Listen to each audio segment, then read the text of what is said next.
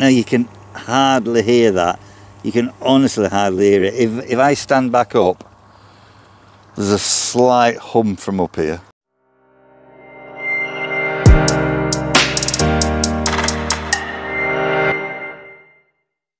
It's the Aqua Oxy 4800 by OASE.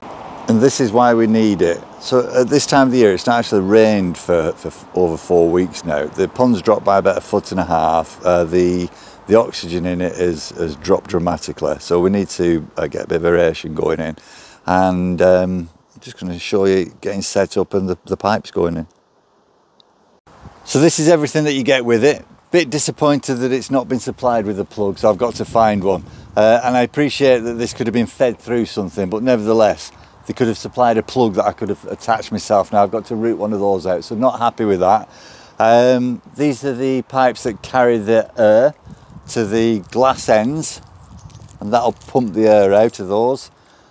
This nozzle connects onto the front there, and then on there, we've got the manifold and basically the manifold goes onto there nice easy to clamp on with that each one of these pipes then goes onto the manifold and you've also got a tap that you can turn them on and off individually operate them individually. So we'll get this set up now and then we'll get it put in the water. Because of the weed that's in the water um, my son's going to go in just so that we can get this put underneath the weed and then obviously uh, those working. So you've also got some uh, additional membranes just in case uh, in case any of them were down you've got the replacements there. Right, I found a plug, really old plug. You can even turn the plug on and off, which is good. Uh, and again, this is all because they haven't supplied one, which um, not happy with that bit. Anyway, let's get the plug on. Right, so that's it. Plug on. Now let's get the uh, the pipes connected and the aerator balls on. First of all, we need to get this on so that we can fit the manifold on. And it's simply a case of, there's already an O-ring and a washer on it, so it's simply a case of putting it in, turning it, and then uh, a little bit more than finger tightening. I will just get a spanner and just, just crank that over a bit, and that's that. Right, time for the manifold. Just take that off there, push it over. Now, it's only air that's coming through there so you don't need to over tighten it or anything. Uh, it's not like there's water or high pressure. So we've tightened that. This now really really easy. Make sure the taps are on top and just push it on. Just push it up as far as it'll go. Get the clamp. Put it back over. Just press it together pop it back over and on it goes. And then that's it that's done and dusted. Now we just need to put the air pipes on. Right, we're going to take this down and put it in situ before we put the air pipes on. Put the aerator ball on, aerator ball. Simply take it out of the packaging, which is easier said than done. Watch out for the dog in the background.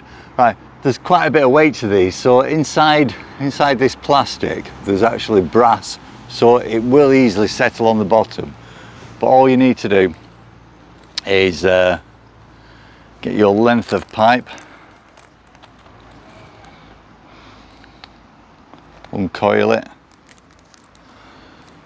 And then obviously on one end just give it a lick and push it over and then push it up. And it's as simple as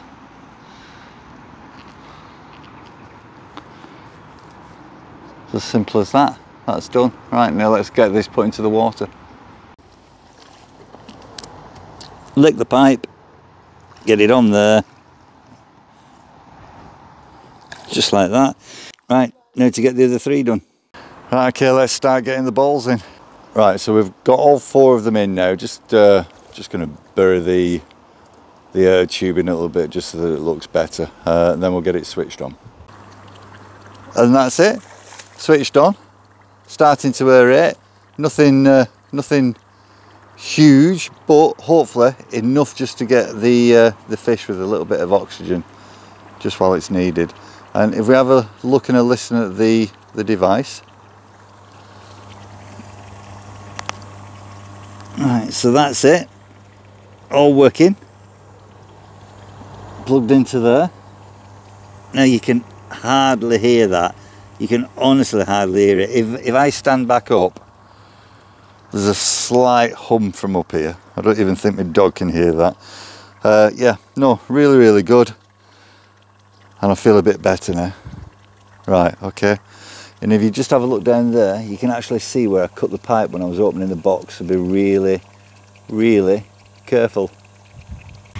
And just to show you uh, the pipes being turned on and off, so I'm going to turn that one off there. And if we look out, I think it's the second from the left. And if we turn it off, yep, stopped. Turn it back on again, and it's there. And let's do the one on the far left. And turned off. Oops, there. Turned on, turned off. On, off. So very, very controllable. Very, very controllable. In summary, um, good price, easy to fit, could have done with a plug. You can see it aerating. I know I need something a lot bigger for this, but as I say, it'll get me over the next few days until it rains. Uh, so win-win.